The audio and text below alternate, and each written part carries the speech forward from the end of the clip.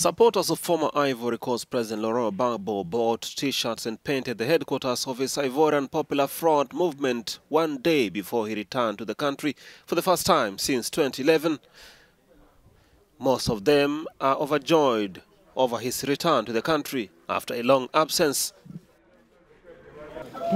All the Ivorians from the north, south, center, everywhere all the Ivorians are waiting joyously for him.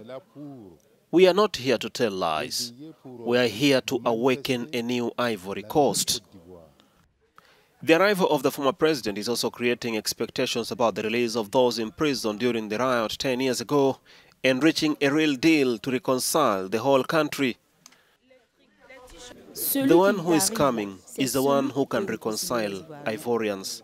And already his arrival, we thank God, has brought the Ivorian people closer by the grace of God. The prisoners, our relatives who are still in prison, must be set free.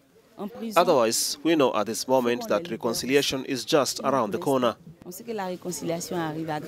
return of Gbagbo from Brussels to Ivory Coast became possible in March when the ICC judges upheld the acquittals of former President and former Minister Charles Blé Goudé.